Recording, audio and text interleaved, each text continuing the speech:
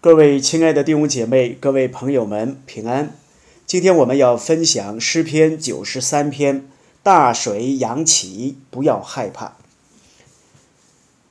第三节：耶和华大水扬起，大水发生，波浪澎湃。大水指的是洪水。我不知道各位有没有经历过洪水？如果我们亲眼目睹、亲身经历的话，很多人在洪水面前会感觉自己脆弱无力，会感觉自己啊非常害怕。但是这段经文告诉我们说：“大水扬起，不要害怕。”为什么我们不要害怕呢？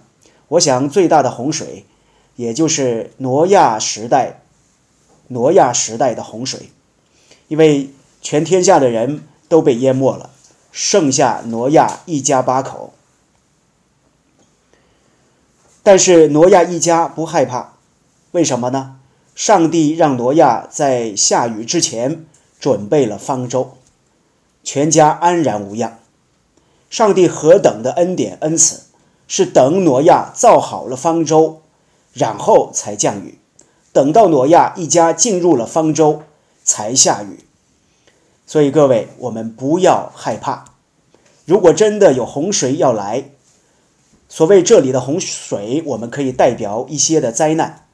如果一些危机要来，灾难要来，我们的神是知道的。让我们安息在上帝里面，学习敬畏上帝和上帝同行。这样，很多时候危机来临之前，上帝就预先告诉我们，让我们早有预备。这样，我们就不害怕。洪水就不害怕洪水所代表的灾难，因为我们的神是预知一切的神，也是预定的神，也是大有能力的神。既然挪亚时代上帝要降雨四十昼夜是神吩咐的，那大水扬起，上帝当然他有办法治理。上帝不害怕，挪亚也不害怕，因为。这洪水是神吩咐的，这大雨降下也是神所吩咐的，所以今天我们不要害怕，一切的环境都是经过神允许、批准或者是命定的，一切都要先经过上帝。感谢主，耶和华在高处大有能力，胜过诸水的响声、洋海的大浪。后来我们看到，当日子过了。挪亚时代的洪水，上帝就叫风吹地，地上的水就慢慢的干了。因为是神吩咐降雨，也是神吩咐风吹地，叫水慢慢的干了。所以呢，是神胜过诸水的响声，洋海的大浪。他是初，他是终，上帝是首先的，也是幕后的。一件灾难开始到结束。都掌握在神的手中，上帝掌控。如果不是上帝允许，多一天灾难也不行。所以，上帝在启示录第二章对士梅拿教会说：“你必受患难十日、十天，是有规定时间的。到了规定的时间就要结束，多一天也不行。就好像挪亚时代的洪水，是有时间记录的，多一天也不行。到了日子。”那个洪水就会干掉，所以我们相信一切都在神的手中。即便你现在遭遇难处、遭遇危机、遭遇危险，上帝熬炼你，我相信到了神的时间，神必要搭救你。现在我们再回头来看第一节，这一切都是因为耶和华作王，耶和华掌权。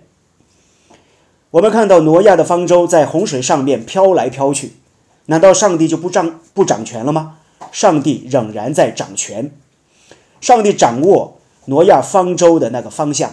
各位都知道，方舟是没有舵的，挪亚也不是舵手。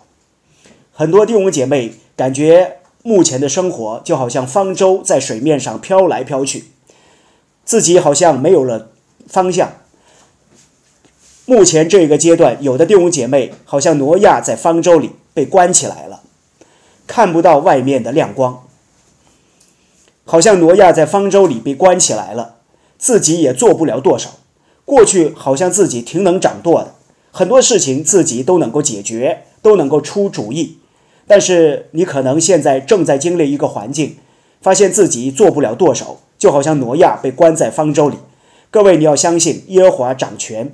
挪亚的方舟受神的指示，被神带领，停靠在亚拉拉亚拉腊山上。我相信上帝知道你应该停靠在哪里，所以不要害怕。耶和华作王，耶和华掌权。上帝以威严为衣穿上，上帝也以能力为衣穿上。上帝穿上了威严，上帝穿上了能力，并且上帝束上了能力的腰带。在本篇简短的诗篇里面，两次提到，两次提到耶和华在高处大有能力，所以上帝是大有能力的，世界就坚定不得动摇。各位，你会动摇吗？如果我们认识到神在掌权，我们的内心就会坚定不得动摇。上帝的宝座是从太初就立定的。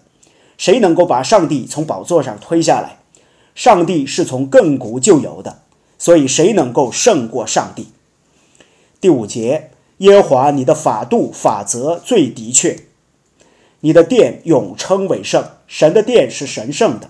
今天我们基督徒也是神的殿，我们在神眼中是神圣的。上帝称我们是圣徒。如果是神不许可的话，没有人可以动我们。甚至摸我们的就是摸神眼中的同人，因为在神眼中我们是他的殿，是神圣的。所以各位信靠上帝，不要害怕；大水扬起，不要害怕。我们一起来祷告，天父，感谢你，大水扬起，危机危险发生的时候，让我们不要害怕，因为我知道洪水是照着你的吩咐，或者受你的允许。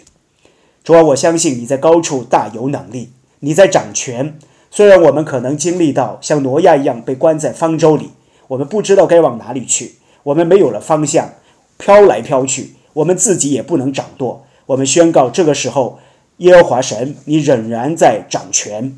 谢谢你，谢谢你，让我们学习像你一样，穿上威严，穿上能力，以能力作为我们的腰带，你的能力成为我们的腰带和衣服，让我们的内心坚定，不得动摇。